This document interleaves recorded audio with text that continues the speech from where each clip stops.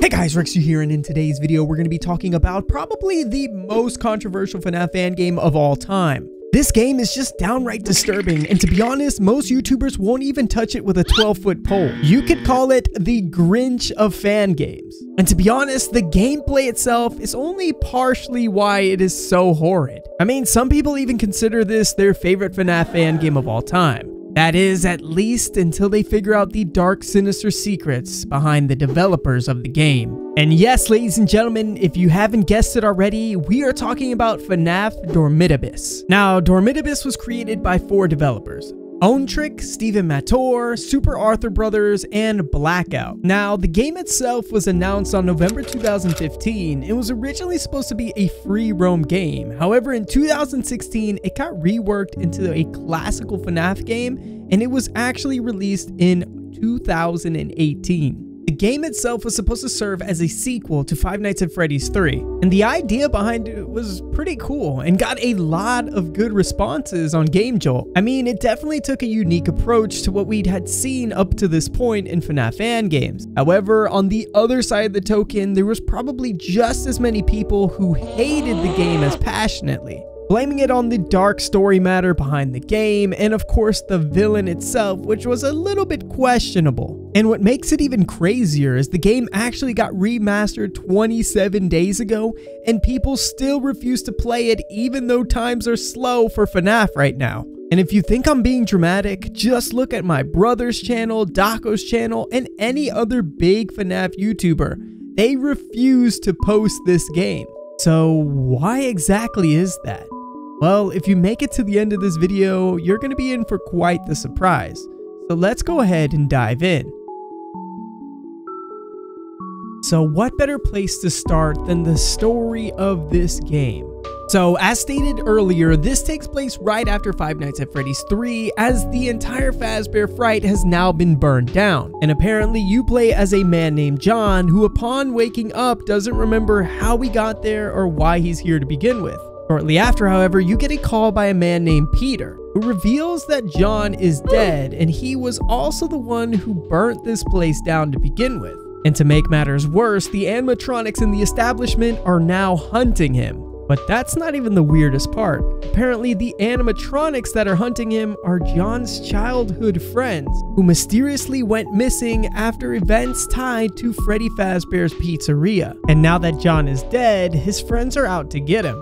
Because in the game, there's this thing called plasma, and apparently it's the only way to make it back into the real world if you're dead. So essentially, his friends are trying to find this ghost form of John in order to extract his plasma and make it back into the real world. However, this doesn't always go according to plan. Apparently, one of his friends named Tom actually tried to use some leftover plasma to resurrect some of the missing children. But his plan failed and actually ended up turning his friends into these terrible animatronics. And these animatronics include the Boa, Cake Bear, Golden Call, Havoc Puppet, Havoc Foxy, Havoc Chica, Havoc Freddy, and Molten Evil. Not to mention this horrifying looking thing called the Soul Cage. And somehow John needs to survive 10 nights, which ultimately ends up turning into 11 with these horrifying animatronic friends of his, which the developers wanted this to more or less be a more content-filled version of Scott's game and was supposed to run 70 minutes if you didn't die a single time. But to make matters worse, you actually need to find secret tapes that only spawn in on certain levels and if you don't find all the tapes by the end of the surviving of night 10, then you get a bad ending. Which you know you get the bad ending if basically you get to night 10 and instead of seeing animatronics anymore, you just see this elongated version of Springtrap, which in this game is actually called Garvey Wright who, believe it or not, is actually our protagonist John's brother, but more on that later. Because whether you survive the night or not, you end up dying, and they leave you with this tombstone that just says John Wright, born 1969, dies 2017, and you get this wonderful message on there that says brat, scum, waste of air. Now, of course, you're probably wondering, how do you get the good ending?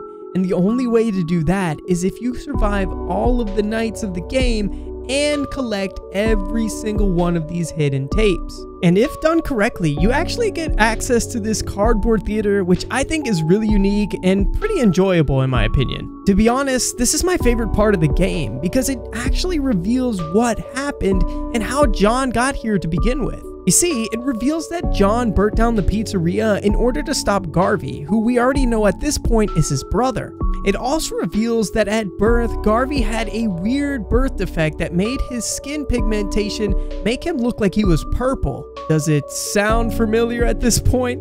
Hmm, a purple guy also gets into a Springtrap suit? Ring any bells, ladies and gentlemen?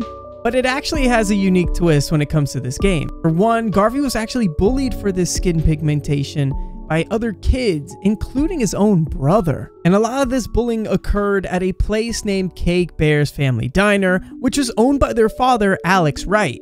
And since their father had so many other things going on with the restaurant, he really never took a moment to step in and stop the bullying. At least until one day where Garvey eventually snapped and he had enough of the bullying he ended up killing a whole bunch of the children, including their own brother, Peter Wright, which, if you'll recall, is the same person who calls John on the very first night. And the bodies were never located, never to be seen again, unfortunately. And Garvey just went on a continuous murder rampage, continuously killing children after children. And this went on for years at different locations, in hopes of crushing the reputation of Cake Bears once and for all. However, after the first series of murders, their father Alex ended up selling the business and it was rebranded into what we now know as Freddy's.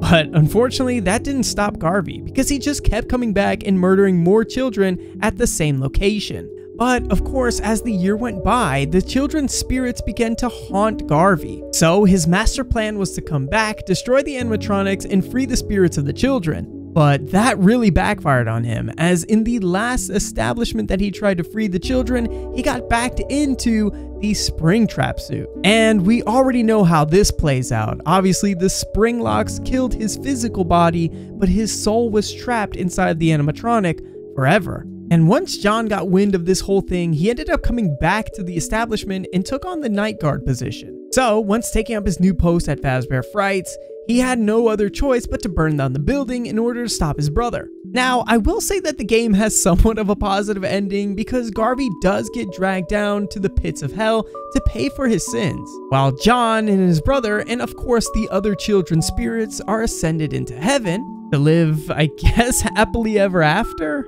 Closing out what we know as the story of Dormitabis. Which, to be honest, if you did take the time to figure out all the secret tapes and of course get this true ending, I could see why you would enjoy the game. Thus, the positive reviews that were all over GameJolt. However, if you did just a casual playthrough and you weren't really trying so hard to get all of these secret tapes, you really wouldn't understand what the heck is going on in the game. I think the gist of it would be that your name is John, your friends are animatronics trying to kill you, and there's some guy named Garvey that wants to attack you in a spring lock suit. So I could definitely see why it got the negative hate, mainly because a lot of people don't want to sit not only through 70 minutes of gameplay without dying for 10 nights, but also looking for secret tapes while getting attacked by multiple animatronics.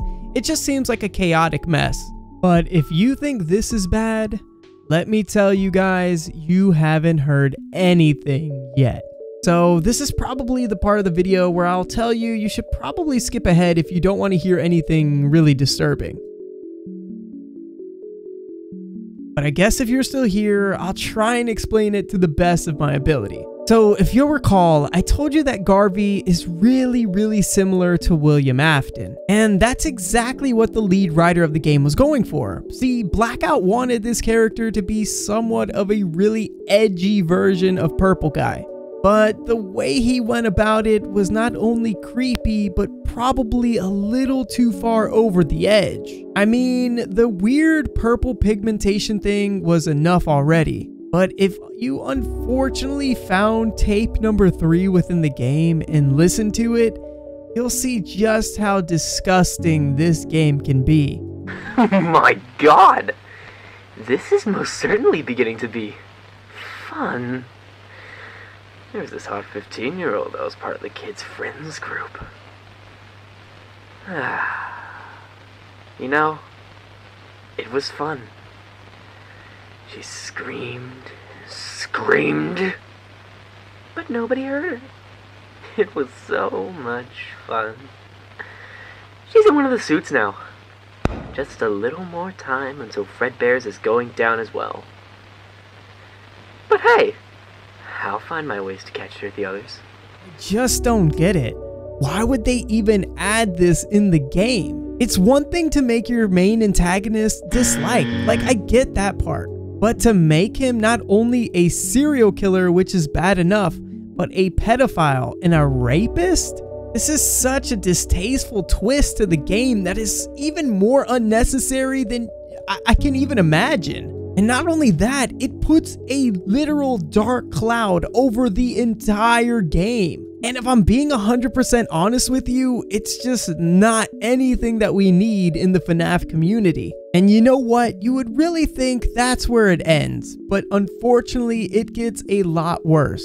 And I'm not even gonna read it, but here is the newspaper clipping that is later found in the game, which somehow makes this even more disturbing. And look, don't get me wrong, I'm not saying that FNAF is all peaches and roses and everything always goes perfect. I know that children are supposed to die, not only in the fan games, but also in the true lore of the series. I mean, for Pete's sake, we've all seen the trailer of the freaking FNAF movie at this point. But to handle it in such a way like, there's parts to this game that literally don't need to go that far. And one thing that you at least have to give the actual FNAF series and the fan games up until this one is that they just leave it up into the viewer's interpretation. Most of our storylines come from 8-bit versions of the game and cutscenes, and William's character is already so compelling that he doesn't need to do these horrid things or we need to know about them. You would say that this Garvey character written by Blackout is literally just put in the game for shock value. And to be honest, I mean, his whole backstory doesn't even make much sense. I mean, he was murdering children at these different like cake bear establishments but for what? It's not like they were the reason that he was getting bullied as a kid. I mean, I guess you can say it's because of his father not paying much attention to what was going on. But to be honest, this just seems like lazy writing. And it's been proven time and time again, you don't need a villain to do these horrible acts to make people hate him or make him a good villain. If you write your story good enough, you don't need to do all these crazy shock value things. Take Dolores Umbridge, for example. I know it's a kind of random example, but she didn't have to do any of these horrid things to make people hate her. And even William Afton himself is such a good villain. I mean, there's never been any question as to why William does the things he does. He has an established motive, and not to mention a storyline that somewhat backs him up. Shoot, I mean, some people might even feel bad for the guy. That's what makes a good villain, not doing horrid acts to children under the age of 15. So I guess my question here is what on earth made Blackout think this was a good idea to put in this villain's horror story? Well, ladies and gentlemen, believe it or not, it gets a lot worse. You see, the apple doesn't fall too far from the tree, and that is where we come to the story of the writer of Dormitabis himself, Blackout. Which brings me to November 12, 2020, where Blackout was finally exposed for all of the horrid things that he was doing in Discord messages and so on and so forth. This led to Nocturnum, the team director over at Radiance, coming out with an unlisted video explaining his own personal horror stories with Blackout. He shares a story about how he was harassed by Blackout and his friends just for stupid little things. And then in 2018, a video came out exposing a whole lot more horrifying details. This video described Blackout as a control freak, a nymphomaniac, a transphobe, and not to mention someone who makes light and joked about raping people and enjoying it. And as if things couldn't get any worse, Blackout was also exposed as being a pedophile, having Discord chats with a 12 year old and trying to convince them to be his special little friend. and tried to validate his weird acts, making jokes about Germany's age of consent laws being really lax. And he even went as far as sending nudes to this same 12 year old. And of course, once his friends got word of this, they all began cutting ties with him, which sent Blackout into this downward spiral of harassing other people for a little bit until he came out with this post, which basically describes how he's going to leave the once known alias of Blackout behind, and thanking people for sticking with him throughout all of the drama even leaves an honest goodbye to all and then signs off for the last time. And to make things even weirder, he has a little summary blob underneath his Game Jolt profile that says, Jesus Christ, just leave me be. I don't want to live in your heads rent free. I've moved on and you should as well. Bye. And if you ask me, it sounds like somebody who really still doesn't take responsibility for the horrible things that he's done in his past. So, what does this mean for Dormitabis? For one, I mean, it seems like the sad truth behind one writer ruining such a great potential game. And it's almost as if he wanted to live out his sick fantasy as the main antagonist of the game and in the process ruined something that could have actually been pretty phenomenal in the FNAF community. And for the game itself, well, sadly, like I said at the beginning of the video, no big YouTuber even wants to go near it. With all this dark controversy surrounding a kid's game, it's not really in our best interest. But there was a brand new remastered version of it that came out, like I said, maybe 27 days ago to this point, and it does look promising. And with Blackout having no involvement, it might be something that I would like to check out in the near future. And if it's something that would interest you, do me a big favor and comment that down below. But guys, I'm going to go ahead and wrap up this video here. Thank you guys again for all the love and support and watching. And if you enjoy FNAF content just like this, make sure you hit that subscribe button. I promise you won't regret it. Anyways, I'll see you in the next one. Until then, peace out!